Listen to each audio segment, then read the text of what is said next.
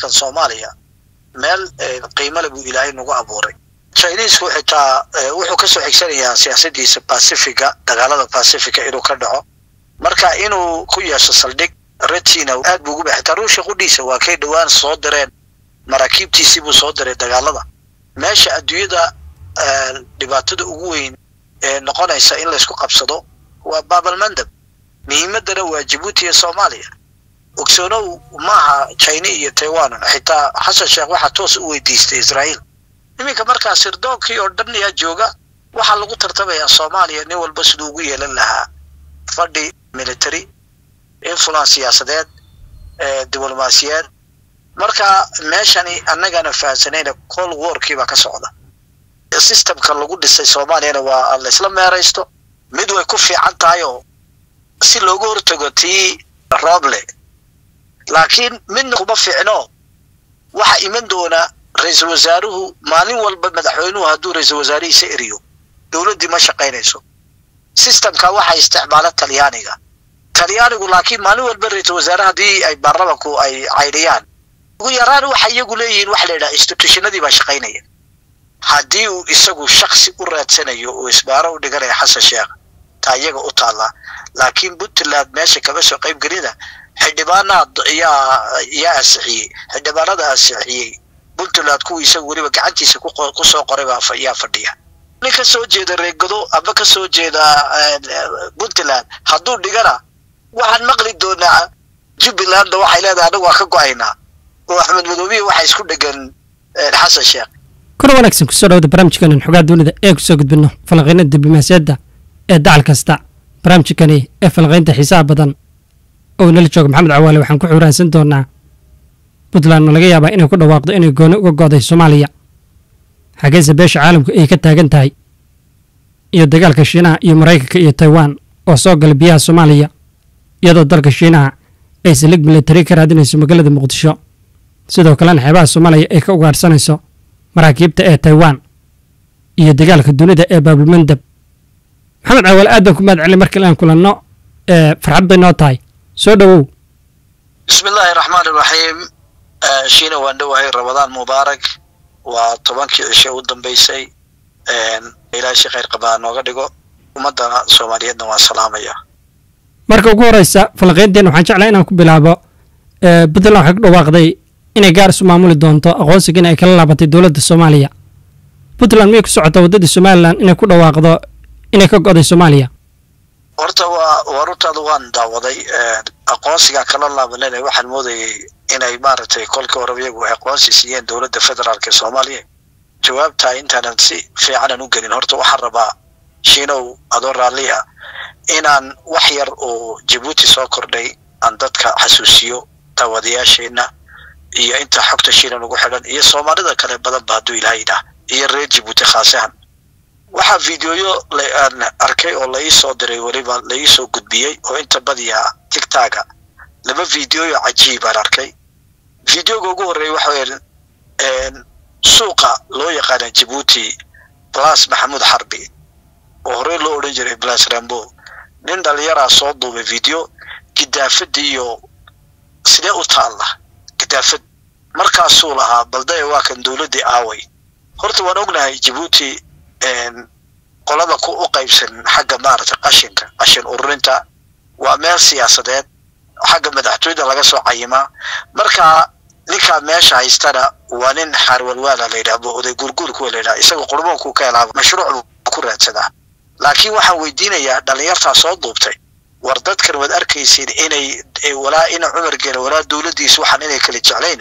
Iniga iyaa inii diida inaad iska safaysiin meesha bayacmusharada weliba baakootayada iyo dadka bayacmusharada xaggaa ku leh waa gidaafadoodii iyagu inay iska qaadaan ay iska ururiyaan qashinka ila iyagaa ku bukoonaya iyo shacabka maraya ubad baa maraya. Meesha waa meesha marka iskoolka laga soo baxayo iskoolo iskuullada laga imanayo liiseyga iyo waxa suuqa laga imanayo la soo maro la sii maro. Waa suuqii wax laga gadanayay iyaga ayaa u diiday taa waa inay isweydiiyaan dhalinyarta reer jabuutina macaarnimadu maaha inaad waxaanan dhici karay waktiga inaad iskaga lumisid inaad inigu xaafadahoogu iyo deegaanadoodu inay iyagu la wareegaan ay iyagu iska safeeyaan dadka dhibaysa waa iyaga. Ina cumar geelle aqaladay galaan waad garanaysid haramuus bay galaan isagii ubadkiisu duri ma qaadayo. Jibuuti iminka haddaad tegto duri kama baxaysidba waa sidaan ku ogaan because waa sida gadaafadaasa u taalla. Taa xaggaabaa kaga baxaya.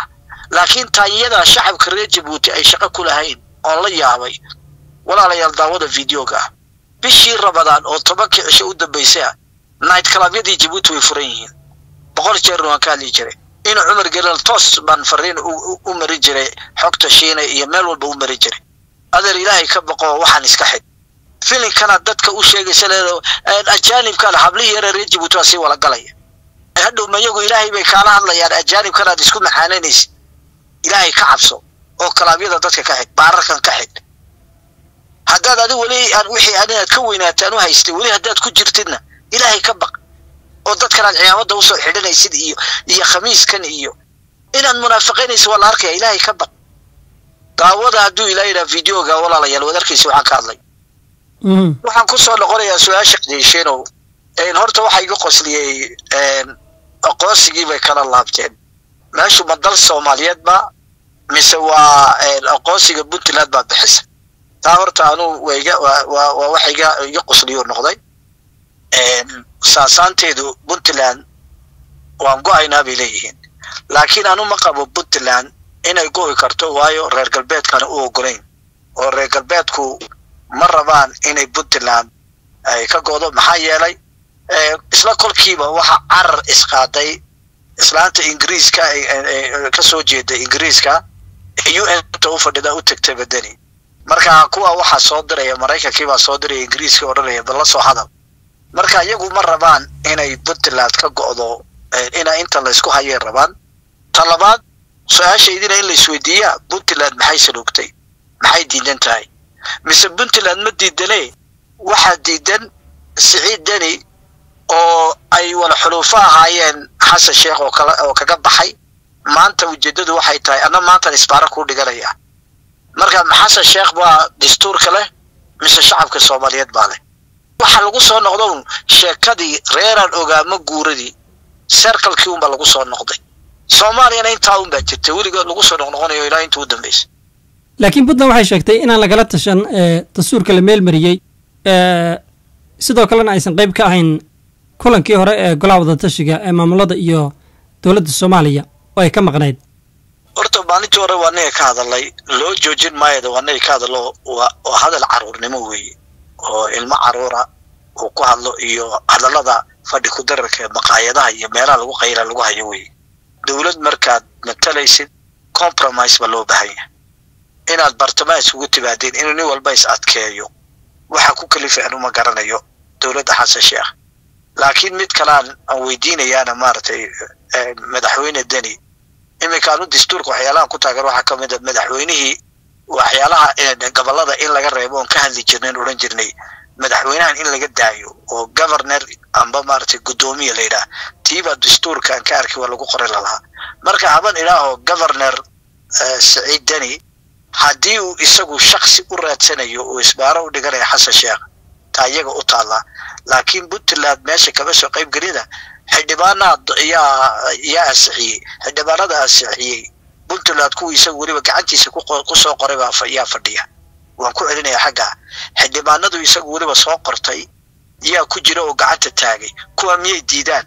Puntland waxaa u fadhiya baarlamanka federaalka ee soomaaliya labada aqalba reer puntland baa u fadhiya. Waxa iyagu diidi waayeen nin wasiiroo lahaa meeshay ku xukumayaan baa laga rabaa in sida carruurta laysa sii jiito laysoo jiito waa laga weeya raggan waa inay weynaadaan. Marka waxaad leedahay puntland ilaa hadda baysa soo bandhigin waxa ay diidan tahay. Dadweynahana lama wadaagin.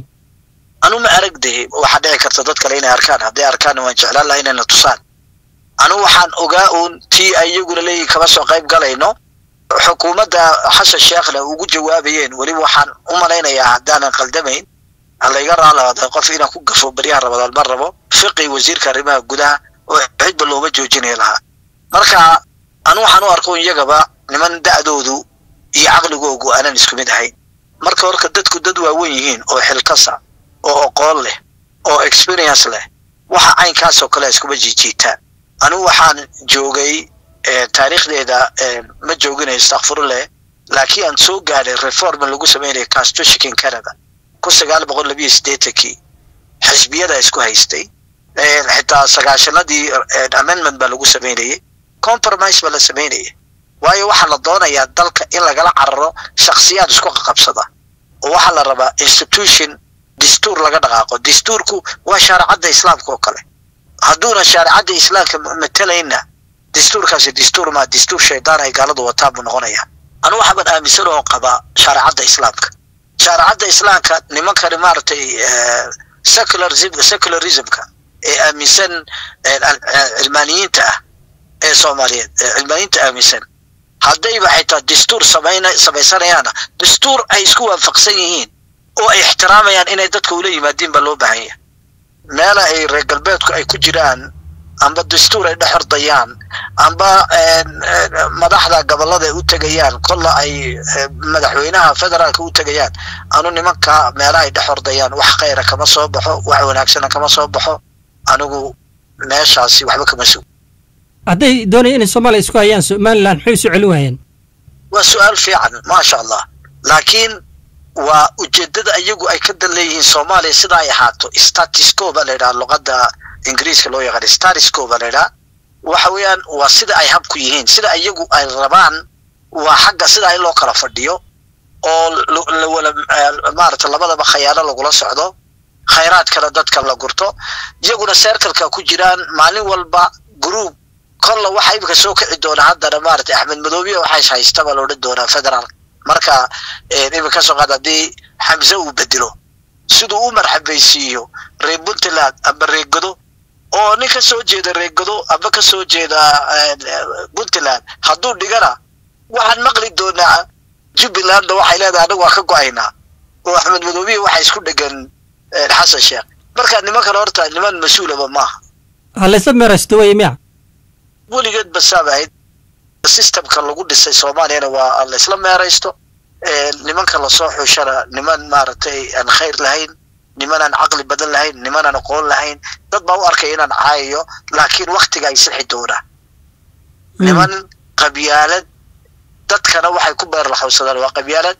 Kaar qabyaaladood bay wataan ummadana beerka beerka iyo dhulka ku hayaan waxa ma hayaan. Dhibaato weyn baa jirta waddankii dhaqaale xumaa jirta laakiin iyagiina way tijaaraan. Waa wala tijaar raggaday booska ra'iisul wasaaraha oo soo hadal qaaday hadda dastuurka waxaa ku jira inuu noqdo ra'iisul wasaare madaxweynuhu caydhin karo.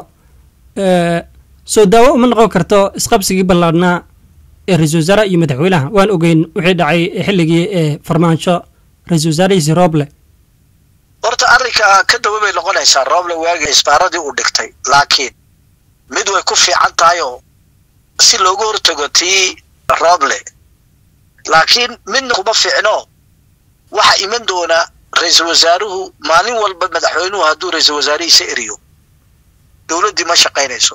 Systemka waxaa isticmaala talyaaniga.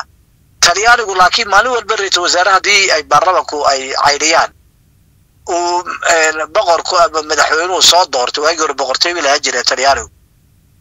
Ugu yaraan waxa iyagu leeyihiin waxa la yidhaha institutionadii baa shaqaynaya. Wasaaraduhu kuma xidhno ra'iisul wasaaruhu amba wasiiradu kuma xidhno wasaaraduhu waa institution ka madax bannaan. Waxa xakuma waxa la yidhaahdo director general d j. Amba maaragtay ay oo raggaasi waxa la yidhaha waa waxa la yidhaha bureaucrat baa la yidhaha iyagu siyaasadda shaqa kuma leh.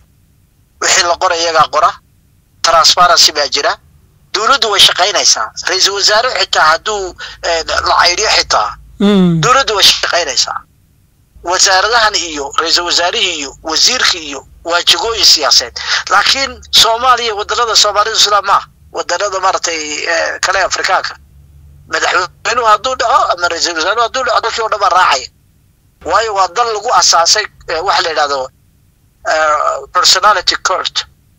Waa shaksi baa lagu asaasay. Taasay halisteeda lehan uga baqayaa laakiin xal bay u tahay eeg afrikaanka dhibaatada jirtay dowladuhu ugu shaqaynayn wasiirkiibaa farageliya wasaaradihii. Qofkuu doono eriyaya qofkuu doono maaragtay keenaya. Hadda xitaa shaqaale loo baahanin buu turkiya oo dhan buu keenaya.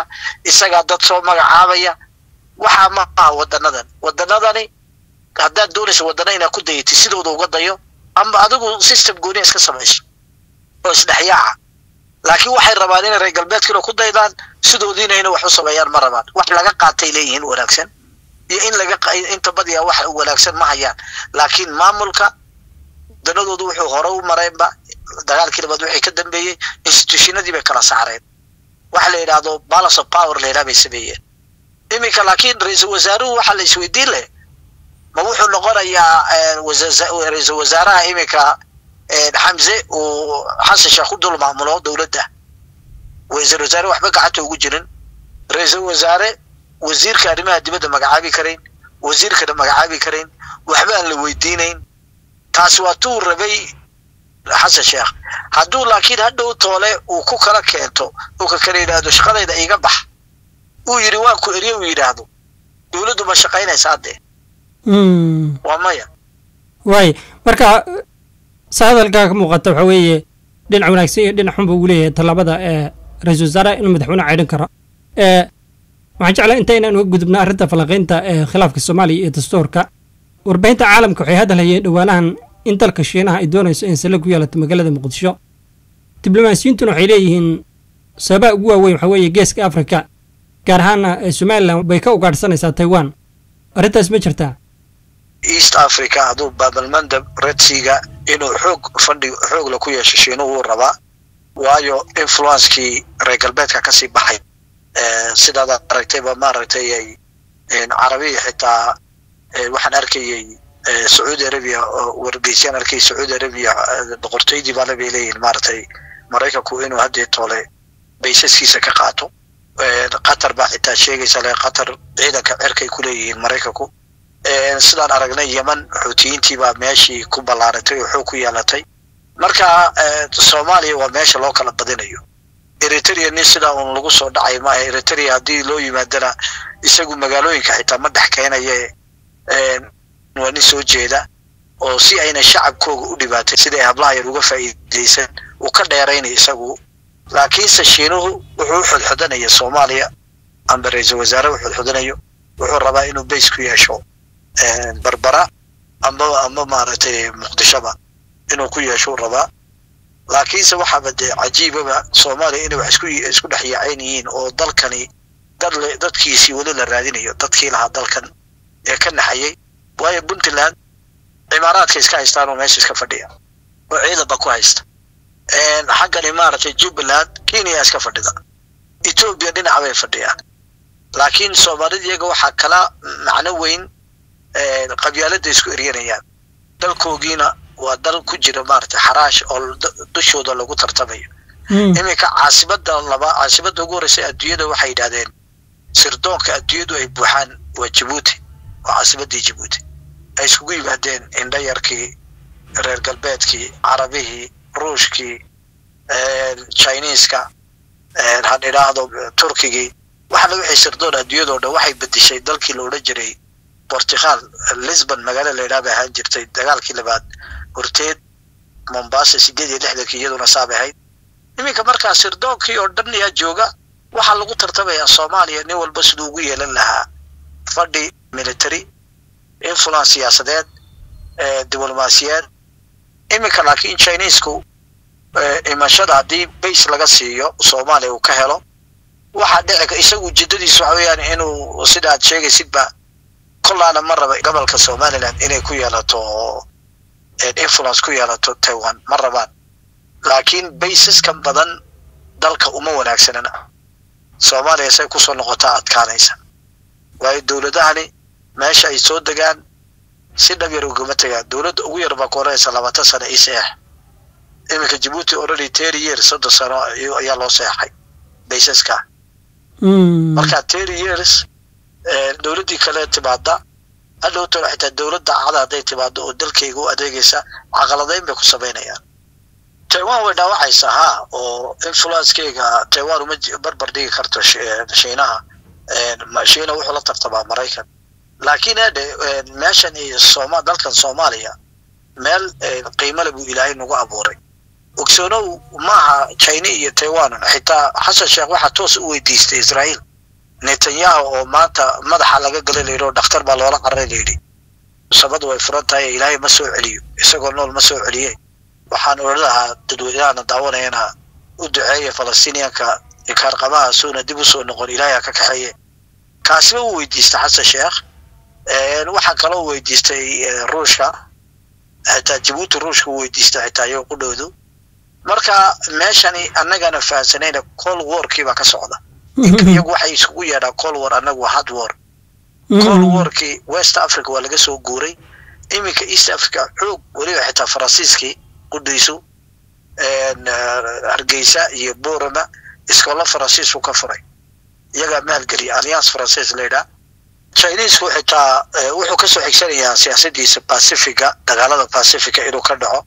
Marka inuu ku yeesho saldhig redsiina aad buu uguba xitaa ruushka qudhiisa waa kay dhowaan soo direen maraakiibtiisii buu soo diray dagaalada. Waa ka isagoo xitaa qudhiisa redsi yimiday meesha adduunyada dhibaatada ugu weyn ee noqonaysa in laysku qabsado waa baabalmandab muhiimadana waa jabuuti iyo soomaaliya. Laakiin soomaaliya maanta jabuuti aba xagga diblomaasiyadda ka quwad weyn. Haddayse fahansan yihiin ismay jijiiteen maanta. Aad baad mahadsanta maxamed cawaale adaa mudan